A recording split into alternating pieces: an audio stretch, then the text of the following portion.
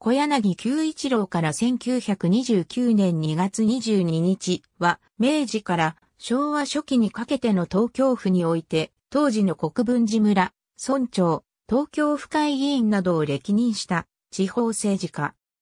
1889年4月に後部鉄道が新宿駅と立川駅の間に開通した際に国分寺駅が開業したが、これは小柳が所有していた7000坪の土地を官地に提供して、現在の国分寺駅の位置に2000坪ほどの土地を確保し、これを駅用地として寄付し、さらに他の地主からの寄付も合わせて実現したものであった。1897年、小柳は、府会議員の補欠選挙に国民協会系から立ち、当選した。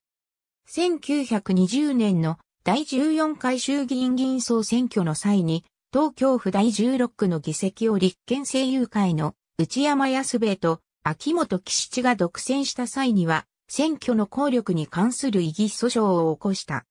1920年代には、ベテランの府会議員として、県政会の院外団で重きをなし、三玉非政友派の頭目とも評された。国分寺駅南口にある小柳久一郎の検証費。2020年撮影。国分寺駅南口には、1960年12月に除幕された小柳九一郎検証碑が建てられている。ありがとうございます。